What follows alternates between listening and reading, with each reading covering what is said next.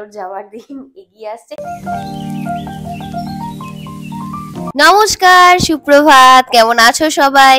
SD family blog চ্যানেলে আরও একটি নতুন ব্লগে তোমাদের সকলকে স্বাগত জানাই। আজ সোমবার, এখন বাজে সকাল সাড়ে ছটা। তো আজকের ব্লগটা আমি রান্নাঘর থেকেই শুরু করছি। আজ যেহেতু সোমবার, আর তোমরা তো জানোই সোমবার দিনটা আমরা নিরামিষ খাই, তাই আজকে একটু বানাচ্ছি চিড়ের পোলাও। বাপিও অফিসে নিয়ে চলে যাবে, আর আমাদেরও সকালে জল খাবারে হয়ে যাবে। রেসিপি শেয়ার করার তো কিছুই নেই, তোমরা সবাই জানো। তো শেষে একটু লেবুর রস ছড়িয়ে মা এটাকে নামিয়ে নিচ্ছে, আর আমি না শুক্তোটা বসিয়ে দিয়েছি। দুটো গ্যাস না জ্বালালে তো অনেকটা দেরি হয়ে যাবে রান্না করতে। তো মা এটাকে নামিয়েছে আর আমি শুক্তোর জন্য করলাটা ভাজতে বসিয়ে দিয়েছি। তো মা এখন রান্নার দিকটা দেখছে আর আমি ফ্রিজের তাকগুলো একটু পরিষ্কার করে নিলাম। মাঝে মাঝে ফ্রিজটাকে একটু পরিষ্কার করে নিই। আর এই বক্সটার মধ্যে তো সব সবজি থাকে, মাঝে মাঝে এটা না সব থেকে বেশি নোংরা এটাতে হয়ে যায়। তাই কি করি, মাঝে মাঝে এটাকে আমি মেজে ভালো করে ধুয়ে রাখি।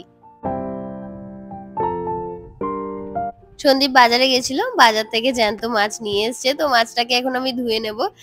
আর এই হচ্ছে মাছের তেল, তো মাছের তেল খেতে না আমি সত্যি খুব ভালোবাসি, অনেকেই আবার ভালোবাসে না। আমি আর সন্দীপ কিন্তু খুব ভালোবাসি, আমার মা মানে শাশুড়ি মা তো একদমই পছন্দ করে না। তো তোমরা কারা কারা মাছের তেল খেতে ভালোবাসো অবশ্যই কমেন্ট করে জানিও, আর যারা খেতে ভালোবাসো না, তারাও কমেন্ট করে জানিও।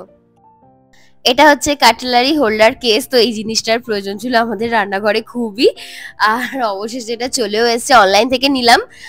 তো এটা পড়ল হচ্ছে ডেলিভারি চার্জ নিয়ে আড়াইশো টাকা মতো পড়েছে। সবাই তো দেখলাম ভালোই বলছে, তাই অর্ডার করে দিয়েছিলাম। মাই প্রথম দেখেছিল, তারপর আমাকে দেখাল।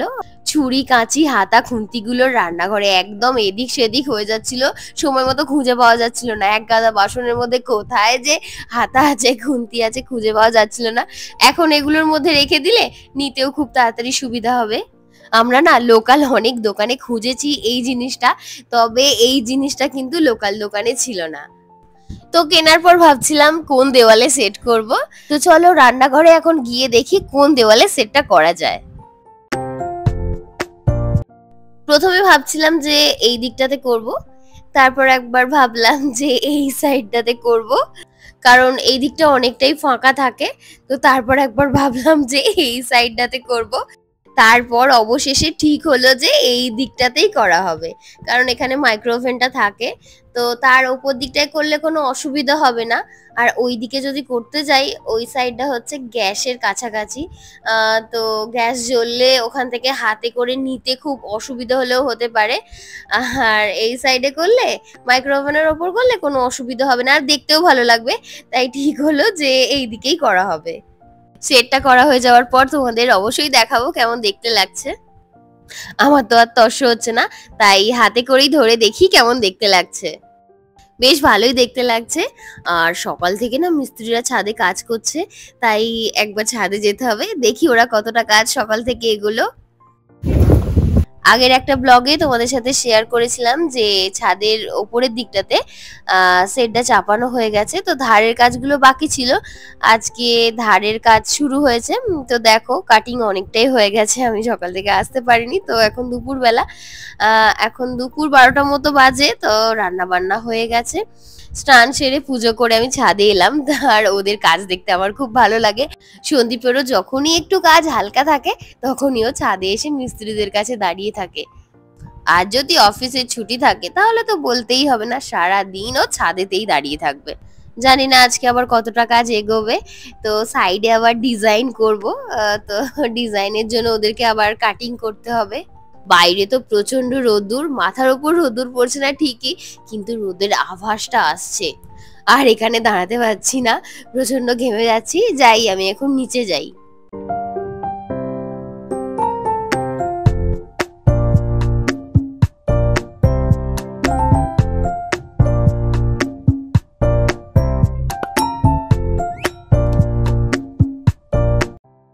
আমি ছাদ থেকে নিচে নামছি আর দেখছি সন্দীপ আমাদের সবার জন্য শরবত নিয়ে ওপরে আসছে। মা করে দিয়েছে ওকে বলেছে ছাদে দিয়ে আসতে।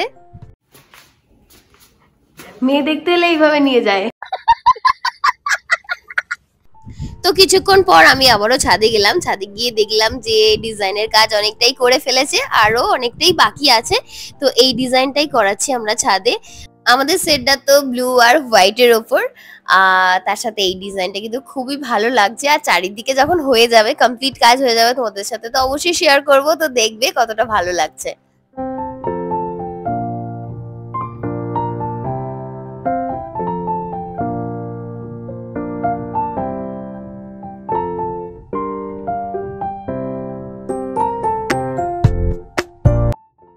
মায়ের এখনও স্নান হয়নি, চারিদিকে ব্লিচিং ছড়াচ্ছে। আসলে তোমরা দেখেইছিলে, একদিন বাড়িতে তো বিছে বেরিয়েছিল। আর শুধু বিছে বেরোনোর জন্যই নয়, মা মাঝে মাঝেই মানে প্রতি সপ্তাহে আর কি ব্লিচিংটা ছড়িয়ে রাখে, যাতে চারিদিক পরিষ্কারও থাকে, আর সব কিছু বেরোতেও না পারে সেই কারণে। আজকে বিকেলে সন্দীপ যাবে আবার মাসিমণির বাড়ি। আসলে মাসিমণির বাড়িতে একটা বিশাল বড় হিমসাগর গাছ আছে আমের। তো মাসিমণি প্রতি বছরই পাঠায়। এবছর তো সন্দীপে যাওয়ার সময়ই হয়ে উঠছিল না। তাই ও আজকে ঠিক করেছে যে আজকেই যাবে। তাই তাড়াতাড়ি ভাত খেয়ে ও বেরিয়ে যাবে। আর আজকে আবার গ্রসারি থেকে জিনিসপত্রগুলো আসার কথা আছে। দেখি আবার কখন দিতে আসে। খাওয়া দাওয়া হয়ে গেছে আর সন্দীপও বেরিয়ে গেছে মাসিমণির বাড়ি। তো তারপরেই বেল বাজালো গ্রসারি জিনিসপত্রগুলো দিতে এসেছিল। তো এই দেখো, কালকে সন্দীপবার আমি গেছিলাম দুজনে। তো আমাদের জিনিসপত্রই এখানে বেশি আছে। Chowmein, Maggi, cold drinks, cakes, biscuit আর একটা আচারও নিয়েছি সঙ্গে মিক্সড আচার। তো চকলেটও আছে। আর যেগুলো শেষ হয়ে গেছিল, কিছু মশলাপাতি ছিল, তেলটাও শেষ হয়ে গেছিল। তো তেল, মশলাপাতি সেগুলোও তুলে নিয়েছি। আর এবারে না, একটা হিট নিলাম। তো মাছি হচ্ছে, আমটাম খাওয়া হচ্ছে তো রোজ। তো সেই কারণে মাছি তো আমাদের বাড়ি একদমই ছিল না। যেহেতু রোজ এখন আম খাচ্ছি, তো আমের গন্ধে গন্ধেই যেন মাছি চলে আসছে। তো এই কারণে এই হিটটা নিলাম, দেখা যাক কোনো কাজ দেয় কিনা। দেখে নিই একবার মিলিয়ে, সব জিনিসপত্র ঠিকঠাক এসছে কিনা। সব জিনিসপত্রগুলো মেলালাম, সব তো ঠিকঠাকই চলে এসছে। আর এখন খাব হচ্ছে ফলসা আর খেজুর। এই খেজুরগুলো তো খুব কমই দেখা যায়। আর ফলসা অনেক ছোটবেলায় খেয়েছিলাম। তো এরপর আজকে খাব। সিজনাল ফল তো সবই খাওয়া দাওয়া চলছে ফলসাটাই বাকি ছিল। তো এটাও কমপ্লিট হয়ে গেল। তোমরা কারা কারা এই সিজনে ফলসা খেলে অবশ্যই কমেন্ট করে জানিও। সন্ধে হয়ে গেছে, মিস্ত্রিরাও চলে গেছে আর মায়ের সন্ধে দেওয়া হয়ে গেছে। এবার চা খাব। সন্দীপ একটু পরে চলে আসবে, ও ট্রেন পেয়ে গেছে। এরপর আমরা দুজন ওয়েট করব আমের আশায়। কারণ আমি প্রচণ্ড আম খেতে ভালোবাসি। তো যাই মাকে এখন চাটা দিয়ে আমিও চাটা খেয়ে নেব। আজকে সন্ধ্যেবেলা বাপুচিকে একটা দিয়ে চা খাব। চলে এসছে সন্দীপ, আম নিয়ে। আমার তো খুবই আনন্দ হচ্ছে। মনে হচ্ছে কখন খাব। আর গাছ থেকে পড়ে গেছে তো। যেগুলো ফেটে গেছে সেগুলো আগে খেয়ে নিতে হবে। তো মা সেগুলোকেই বেছে বেছে রাখছে। যেগুলো ভালো সেগুলো এটার মধ্যে রেখে দিচ্ছে। আর যেগুলো একটু ফেটে গেছে, ওগুলো তো আগে খেতে হবে। ওই কারণে ওগুলো আলাদা করে রাখছে। আর মায়ের মুখে হাসি দেখো। দিদির বাড়ি থেকে আম এসছে বলে কথা। হাসি তো থাকবেই। তো আয়েস করে আম খেয়ে ওপরে এলাম। আর আমগুলো এতটাই মিষ্টি যে মধুকেও হার মানিয়ে দেবে। তো আমরা তিনজনে বেশ ভালোই আম খেয়ে নিয়েছি। এখন আপাতত তো রুটি খেতে পারবোই না, তাই মাকে বললাম যে একটু পরে রুটি করব। এখন আপাতত একটু রেস্ট নিই, তারপর আবার রান্না করে যাব। রাতে রুটি তরকারি হবে, আর অনেকগুলোই আম দিয়েছে, তো রেখে রেখে খাব অনেক দিন ধরে আর যা মারাত্মক গরম পড়েছে, তো জল খেয়ে খেয়ে পেট ভর্তি হয়ে যাচ্ছে। জল আর সিজনাল ফলগুলো যেগুলো আছে, সেগুলোই এখন বেশি খাওয়া দাওয়া চলছে। তোমরাও কিন্তু প্রচণ্ড জল খাও, আর যারা আম খেতে ভালোবাসো তারা আম খাও। এবছর তো গাছে সেইভাবে আম হয়নি, আমের দাম তো যাবে প্রচুর, সামনে এবার জামাই ষষ্ঠী, তো আমের দাম যাবে প্রচুর। অতিরিক্ত গরমের জন্য তো সকাল সকাল ঘুম থেকে উঠে সমস্ত কাজ গুছিয়ে ফেলার চেষ্টা করছি, কিন্তু কি বলতো বাড়িতে আবার মিস্ত্রি কাজ করছে, তো সেই কারণেই এদিক সেদিক করতে করতে তো একটু দেরি হয়েই যাচ্ছে। আর আজকে সারাটা দিন তো এইভাবেই কাটলো। তোমাদের কেমন লাগল আজকের ভিডিওটি অবশ্যই কমেন্ট করে জানিও। ভালো লাগলে একটা লাইক করে দিও। আর খুব তাড়াতাড়ি কিন্তু বেলোর যাওয়ার দিন এগিয়ে আসছে। তাই কারও যদি কোনো রকম কমেন্ট থাকে, অবশ্যই কমেন্ট করে দিও নতুন ইনফরমেশন পাওয়ার জন্য। তো চলো, আজকের ভিডিওটা কিন্তু আমি এখানেই শেষ করছি। দেখা হচ্ছে খুব তাড়াতাড়ি আরও একটি নতুন ব্লগে তোমরা সকলেই সুস্থ থেকো, ভালো থেকো। আজকের মতো, টাটা।